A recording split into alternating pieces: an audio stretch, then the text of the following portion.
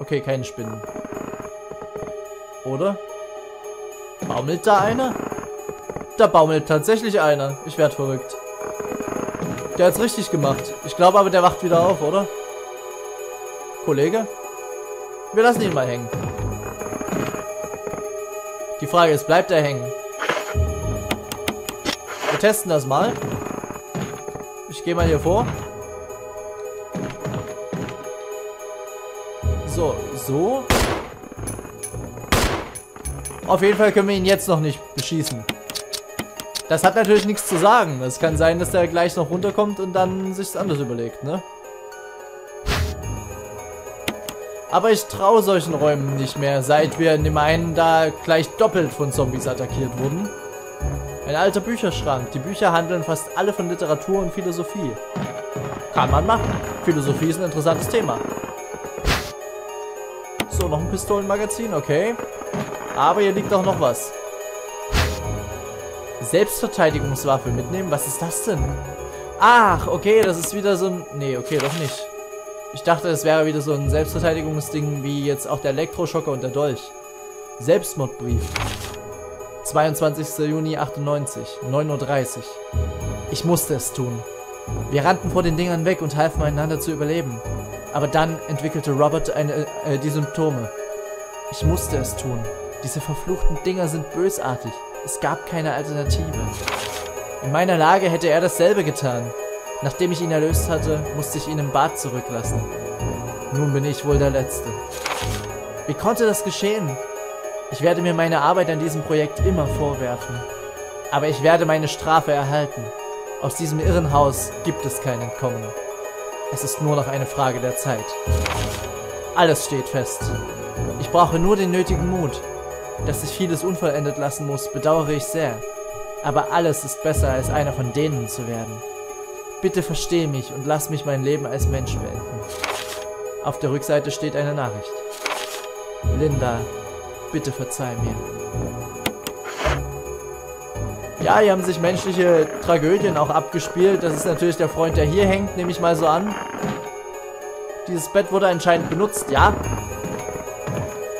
Ich frage mich bloß, ob er denn hängen bleibt, denn er scheint noch so ein bisschen zu zucken. Und ich weiß nicht, ob das denn überhaupt Zombies aufhält, wenn man sich aufhängt.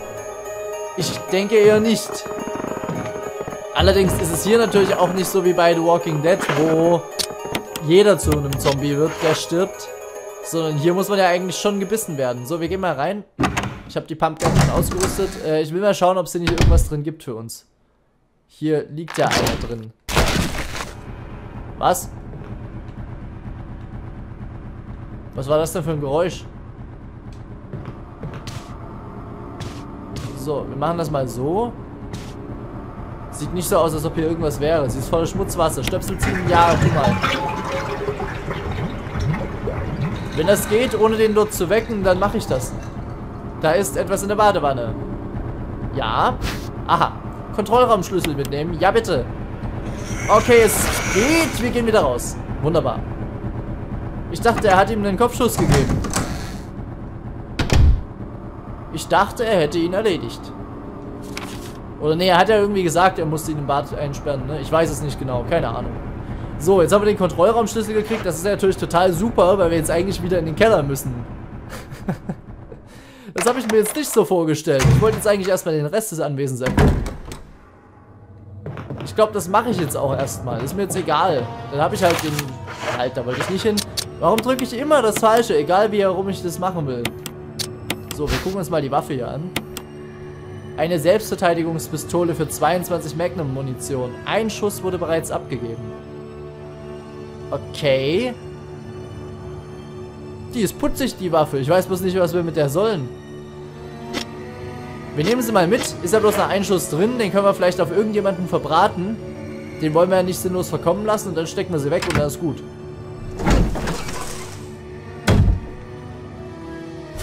Oh nein, sie sind da. oh, komm schon. Sie sind da. Und deswegen ist ja auch... Wow! deswegen gibt es ja auch so viele blaue Kräuter. Denn die Spinnen sind nicht gut. Die Spinnen sind gar nicht gesund. Und ich wusste, dass sie ab diesem Zeitpunkt kommen würden. Das ist das Schreckliche. Und ich sehe da oben schon wieder was zucken. Das ist ein... Das ist so ein Speed-Zombie, oder? Ach nee. Und du hör mal auf zu zucken hier unten. So, wir gucken uns erstmal hier unten um. Was hängt denn hier? Das sieht aber gar nicht schicklich aus. So, können wir uns aber auch nicht weiter anschauen. Ich dachte vielleicht auch das auf dem Boden davor. So, eine rote Öllampe. Sie ist nicht angezündet. Das lässt sich ändern. Gut, nein, ich drücke wieder immer das Falsche. Ich würde das gerne ändern können. Ich glaube, man kann aber nicht so konkret irgendwas ändern von der Belegung. Sondern es gibt bloß vorgefertigte äh, Belegungen, die man dann ändern kann. Nee, das lasse ich mal da. Und ich glaube, so wie ich mir das vorstelle, alles so lassen, wie es jetzt ist, nur die, äh, die Dreieck- und die Kreistaste drehen, das gibt's, glaube ich, nicht. So, ich bereite mich schon darauf vor, dass der Typ gleich angerannt kommt. Könnt ihr die Kamera wechseln? Danke. Oben ist der, ne? Ich hab dich gesehen, mein Freund. Du bist doch ein schneller, oder? Ah nee, das ist eine Spinne, die... Ist das eine Spinne, die außen dran hängt, oder was? Hä? Ich bin verwirrt. Ja, da hängt eine Spinne außen dran, das ist alles. Ich frage mich gerade, können wir die Spinne eigentlich durch das Gitter abschießen? Oh ja, wir können. Blöderweise ist sie jetzt halt unten im Gang. Das hilft mir auch nicht weiter. Das war eigentlich blöd. Ich hätte sie da hängen lassen sollen. Ein paar Billardkugeln. 2, 3, 4, 5, 6. Die Reihenfolge scheint keine besondere Bedeutung zu haben.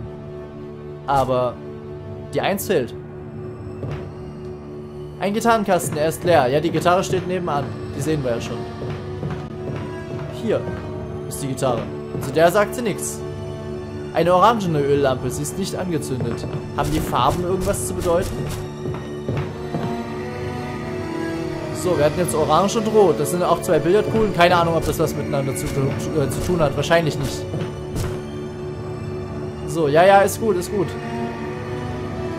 Also nicht bloß die 1 fehlt, sondern auch die 7. Ja, okay, ich wollte eigentlich mal in die Taschen schauen, aber das ist es nicht. Oh, und die Spinne kann Treppen steigen. Ist ja süß.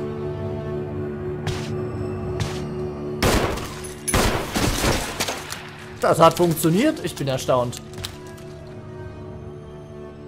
Kann es sein, dass die weniger aushalten, als ich dachte? Ich hatte eigentlich gedacht, da ich mit dieser kleinen Waffe nicht so Erfolg hatte mit, der, mit dem Magnum-Geschoss, dass ich dann eine größere auspacken muss. Aber scheint ja doch nicht so zu sein, wa? Na gut. Oh ja, das ist, das ist Dankeschön. Oh, ihr versteht mich. Ein Haufen großer Fässer. Gut, die Fässer, die interessieren uns nicht so sehr. Ihr versteht mich wirklich. Ich brauchte das jetzt unbedingt. Rotes Buch mitnehmen. Bandage with Blood. Okay. Schauen wir uns mal an. Das können wir gleich einsacken. Das ist wieder mal ein Erste-Hilfe-Spray. Ich nehme mal an, das wird sich nämlich gleich erledigen mit dem. Nein, nicht kombinieren. Ich will prüfen. Ein Buch mit rotem Einband. Schauen wir mal. Ein Buch mit rotem Einband. Die Seiten sind alle leer. Gibt es dafür eine besondere Verwendung? So, aber... Okay. Kann ja sein, dass irgendein Fach drin ist oder sowas, ein Geheimfach, aber ist nicht so. So, hier unten haben wir auch noch eine grüne Lampe. Ich glaube, wir sollten mal unser Feuerzeug holen, kann das sein? So, zumindest haben wir hier jetzt aber erstmal aufgeräumt. So, haben wir denn sonst noch was hier? Ne, in dem Raum ist uns nichts weiter. Okay. Die Spinnen sind weggeräumt. Die eine zuckt noch nach, die andere hat es schon hinter sich. Gut, dann gehe ich mal ganz kurz ähm, ins Inventar hier, in, in die Inventarbox und räume mal ein bisschen um. Gut, und dann nehmen wir mal das Feuerzeug mit und äh, stecken die kleine Selbstverteidigungswaffe weg. Die ist ja nicht so nützlich jetzt. So, die kann erstmal, die tun wir mal ganz weit weg. So vielleicht. Den Kontrollraumschlüssel, den behalte ich mal da. ich denke mal, wir werden ja relativ bald in den Kontrollraum gehen. Auch das rote Buch behalte ich mal, glaube ich. Oder? Ah, es ist halt blöd. Es nimmt halt alles Platz weg, ne? Vor allen Dingen dieser kleine Scheißschlüssel nimmt ein ganzes Inventarfeld weg. Das ärgert mich immer wieder. ähm, ich packe erstmal den Kontrollraumschlüssel weg. Wenn ich dann darunter wieder gehe und den Kontrollraum öffnen will, dann kann ich den immer noch wiederholen. Jetzt erstmal stecke ich mir noch ein das Feuerzeug. Genau. Das war der Plan. Und dann schauen wir mal, ob wir nicht ein paar Lämpchen anzünden können und für ein bisschen nettere Atmosphäre sorgen können. So, ein bisschen heimeliger das Ganze machen.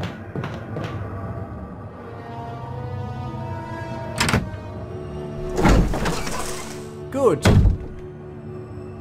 Spinnen sind weg. Hausmeister war schon wieder da. Das ist schön. Der nimmt seine Arbeit ernst. Ach, das grüne Kraut hätte ich natürlich wegpacken können, um dann hier das zweite zu nehmen. So, aber wir zündeln mal ein bisschen. Ein sonderbarer Schatten schwebt im rötlichen Licht. Was könnte er bedeuten? Ein Auge. Okay. Zünden wir mal noch die restlichen an. Können wir eigentlich die Schallplatte anmachen? Das wäre so schön. Nee. Schade. Ich mag Schallplattenmusik sehr. Also kommt natürlich auch drauf an, was drauf ist auf der Schallplatte, ist klar. Aber ich mag den Klang von Schallplatten. Ich wollte mal hier schauen, weil es so aussieht, als ob hier was auf dem Boden liegt. Aber ich glaube, da liegt nichts. Gut, die anderen zwei auch noch schnell angezündet.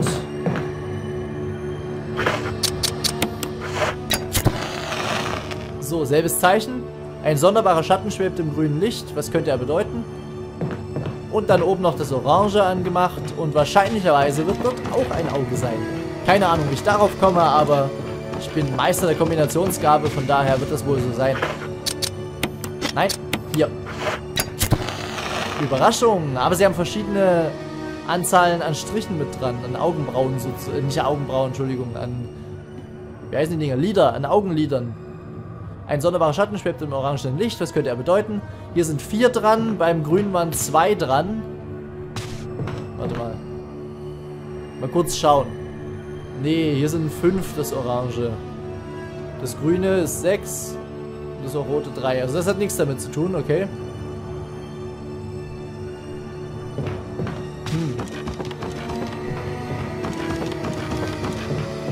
Wir nochmal kurz bei dem Roten. Ich weiß nicht, was das für eine Zahl hat. Zwei an der Seite. Hm. Was sagt mir das jetzt, ist die Frage. Ich habe bei den anderen gar nicht geguckt, ob die auch was an der Seite haben.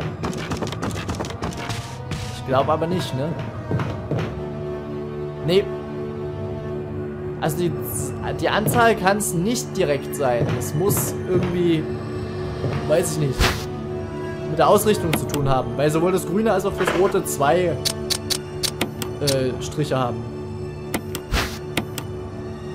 Ja, du musst, du musst es öffnen. Es ist klar, dass es von außen erstmal keine besonderen Merkmale hat. Er enthielt eine Mischung aus grünem und blauem Kraut. Aha. Ich dachte, da sind immer die Sprays drin. Na gut, nehmen wir mit und packen es gleich in die Kiste. Hier kommen wir jetzt also nicht mehr, nicht wirklich weiter gerade. Ich weiß nicht, wofür genau das gedacht ist. Ich gehe mal kurz auf die Karte es ist auch nicht so wirklich irgendein davon abzweigender Weg eingezeichnet, ne? Also das kann es auch nicht so richtig sein. Gut, dann haben wir jetzt eigentlich nur einen Anhaltspunkt, was wir machen können, nämlich den Kontrollraum unten. Das heißt, wir dürfen uns wieder zu den Haien reinstürzen. Etwas, das ich unbedingt möchte. So, ich weiß nicht, wie wir mit diesem blöden Loch dort agieren sollen. Das ist ein bisschen nervig, muss ich sagen. So, aber egal. Das muss uns erst auf dem Rückweg aus dem Kellerloch wieder beschäftigen. Ich pack das mal mit unten hin.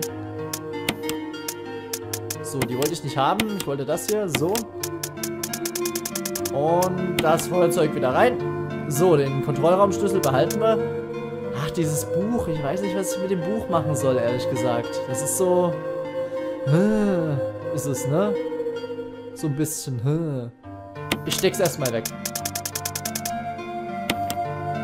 Ich steck's erstmal weg. Den Kontrollraumschlüssel haben wir dabei. Ja. Nur nochmal sicherheitshalber geguckt, nicht, dass ich jetzt losrenne und dann muss ich unten feststellen, oh shit, du hast ihn ja doch nicht eingesteckt. Hieß der überhaupt Kontrollraum unten? Ich weiß es gar nicht. Hieß der nicht Generatorraum oder sowas? Wir schauen mal, wir schauen mal. Äh, wenn es nicht der Raum ist, dann werde ich dort die Aufnahme beenden, glaube ich. Und dann einfach wieder zurücklaufen und nochmal speichern. Wenn das ist, dann machen wir noch ein kleines bisschen weiter und dann beende ich die Aufnahme danach. Mal schauen. Wow. Oh nee, da wollte ich gar nicht lang. Galerie, ja, ja, schön. Das heißt, wir können an den Viechern vorbeirennen, wenn wir schnell genug sind. Das ist gut zu wissen. Warum habe ich in dieses Loch geschaut? Beim nächsten Mal tue ich es nicht mehr. Gut, aber wir stützen uns jetzt erstmal die Leiter runter. Und schauen mal, ob das wirklich der richtige Schlüssel ist. Glücklicherweise ist der Weg ja jetzt geebnet. Ich hoffe mal, der eine Hai wird uns nicht so großartig belästigen. War das vielleicht hier? Nee, das war von der anderen Seite verschlossen. Okay. Gut, dann schauen wir jetzt nochmal hier drüben. Hinein ins Nass. Und rüber zu den Haien. Yay! Wer spielt nicht gern mit Haien? Der andere ist jetzt auch weg? Oder lauert der nur in der Tiefe? Na gut, wir gehen gleich mal hier den inneren Weg lang. Ich gehe mal hier drüben lang. Ich glaube, da bin ich noch nicht lang gegangen. Oh, das ist aber kein Hai, oder? War das ein Hai? Das sah so komisch aus. Na gut, egal. Sie haben den Schlüssel für den Kontrollraum verwendet. Sehr gut. Den brauchen wir nicht mehr. Kann weg. Rein hier.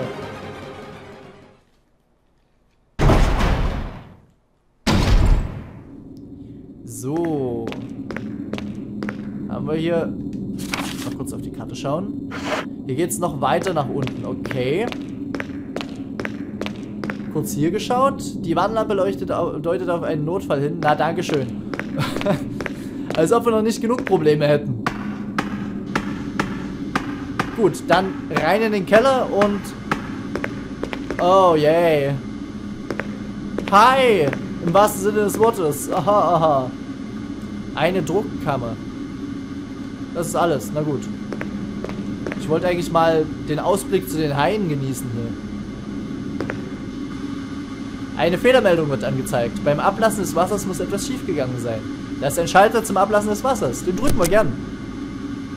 Hallo, hi. Wow! Emergency, emergency. Unknown source of pressure detected. Bleiben Locking Sie all ruhig. doors to achieve maximum safety. Nein! Ey, komm nicht auf blöde Ideen, hier die Tür abzusperren. Du bist wohl blöd. Wo ich denn hier? Ein Öldruckregler. Sie brauchen den Öldruck jetzt nicht zu ändern. Nicht? Sicher? Aber, aber, aber, aber ihr habt mir das doch hier mal so, so markiert. Reaching 30% of pressure threshold. Oh, was mache ich jetzt? Nein, ich wollte gar nicht nach oben. Warum greift er mich jetzt an? Warum gehe ich jetzt nach oben? Geh noch mal wieder runter. was muss ich tun? Ist ja gut, ist ja gut. 50% of pressure threshold. Activate emergency drainage system immediately. Oh, warte mal, hier vielleicht. Nee. Nicht jetzt. Warte mal, willst du mich verarschen? Nicht jetzt. Vorsicht, falls der Öl Öldruck fällt. Ventil 1 öffnen. Ventil 1. Ist das hier drüben dann doch mit? Ventil 1, ein Öldruckregler? Nee. Ach Mensch, Leute, was soll ich denn tun? 70% of pressure threshold. Ja, bitte. Okay, darf ich denn jetzt hier drüben öffnen? Jetzt? Nee. Was habe ich denn jetzt geöffnet? Ich verstehe es nicht. Sorry, ich, ich verstehe es gerade nicht. Wir laufen einfach mal rum und drücken alles. Ja, okay. Da muss ich noch nicht drücken. Da ist ein Steuerhebel für die Druckkammer. Umlegen? Ja, bitte. Reaching 90% of pressure threshold. Gefährlich. Nein, Öldruckabfall, Kammerbetrieb abgebrochen. Stellen Sie den Öldruck wieder her und lösen Sie den Sicherheitsmechanismus. Dankeschön. Ja, super. Gute Idee. Jetzt. Darf ich denn jetzt? Nein, komm schon. Wir haben es schon gesehen. Wir müssen den ersten drücken. Reaching 95% So. of pressure threshold. Aha, aha, aha. Schön. So, All ah, ich muss wieder den Sicherheitsmechanismus lösen. Na. Dankeschön. Ja. So, jetzt aber.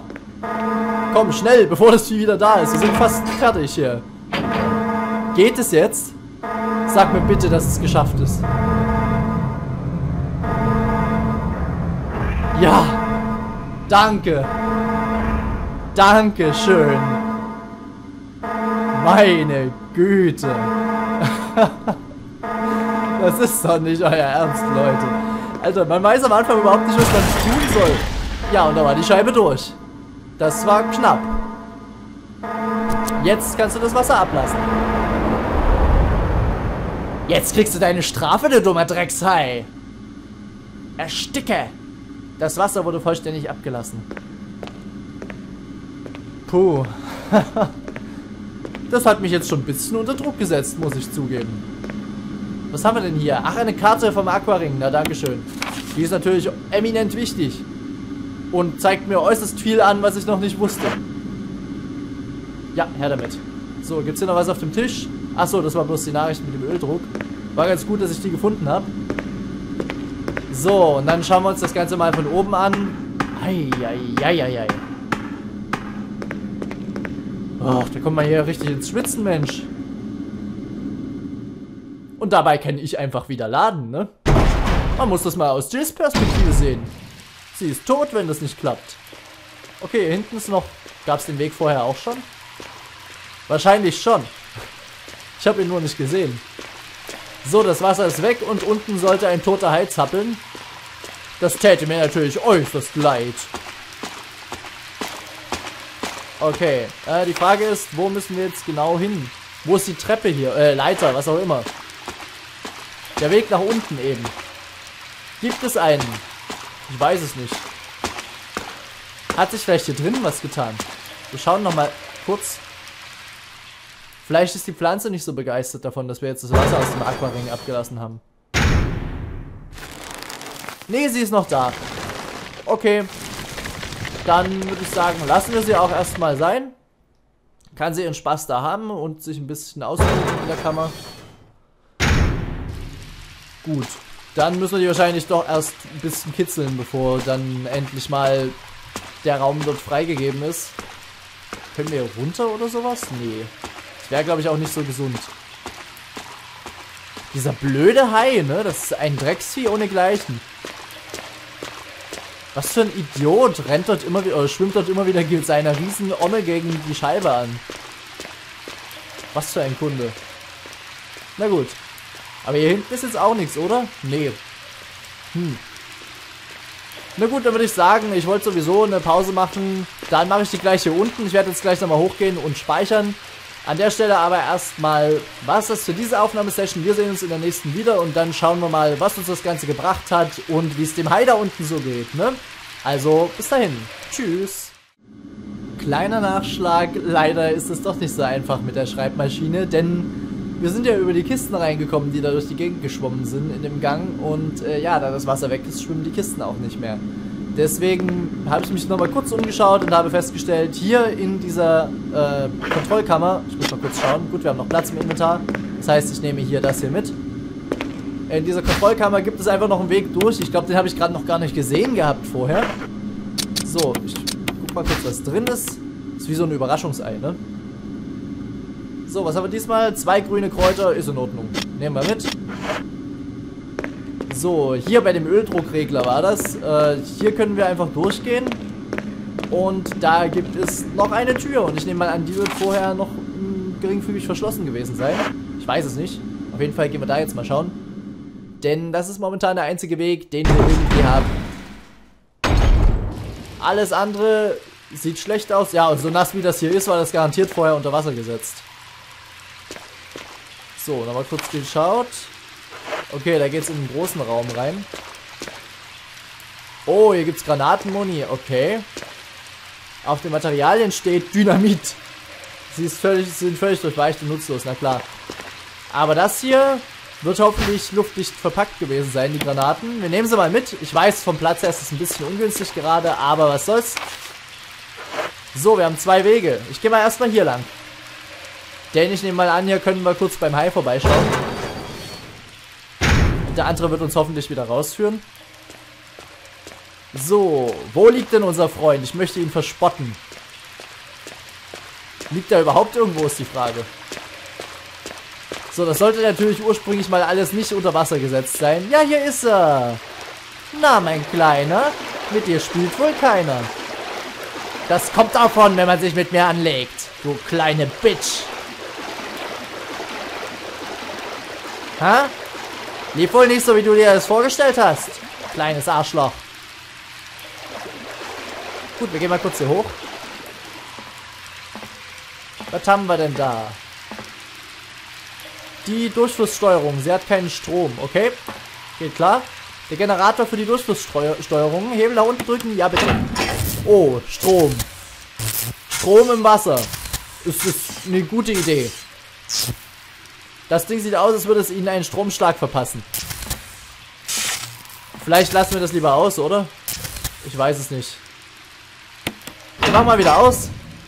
Ich möchte mich ja jetzt auch nicht hier töten, wenn ich wieder ins Wasser springe. So, aber zumindest wissen wir, der Hai hat es hinter sich. Das sind schon mal gute Nachrichten. Diverse Geräte, sie haben keine Ahnung, wozu sie dienen. Wunderbar. Und dann untersuchen wir mal den anderen Weg, denn ich hoffe, der wird uns wieder rausführen. Damit ich da die Aufnahmesession wirklich beenden kann diesmal. War ja jetzt eine tolle Sache. Ich nehme mal an, wir werden jetzt gleich in einem Gang wieder rauskommen. Äh, indem wir noch die verschlossene Tür hatten. So, schauen wir mal. Die Granaten, ja doch bestimmt Barry hier abgelegt. Barry war garantiert schon hier. Es muss Barry gewesen sein. Es muss. Wer sonst sollte uns Granaten hinlegen? Oh, hier gibt's Magnum-Munition. Nehme ich auch mit. Ich hoffe, ich werde jetzt nicht noch irgendwelche großartigen Gegenstände sammeln müssen. Nee, hier geht's eine Treppe, äh, eine Leiter hoch. Ich nehme mal an, alles ist eng zusammengepackt. Hier sieht's aus wie auf der Müllkippe. Ja, es wurde vom Wasserdruck hier zusammengequetscht, Mädel. So, okay, wir gehen auf der anderen Seite hoch. Ich nehme mal an, dass wir jetzt in einer kleinen Abstellkammer rauskommen, die uns eben direkt am Gang wieder rauswerfen wird. So. Jill quält sich hoch. Wir schließen die Tür auf. Jawohl, wir sind an der richtigen Stelle. Und kommen im Gang wieder raus. Das ist schön. Ich hoffe, hier sind keine Gegner gekommen. Nein. Dann beende ich diesmal wirklich die Aufnahmesession an dieser Stelle und begebe mich noch zum Speicherpunkt zurück. Also bis zum nächsten Mal. Gehabt euch wohl. Wir sehen uns und tschüss.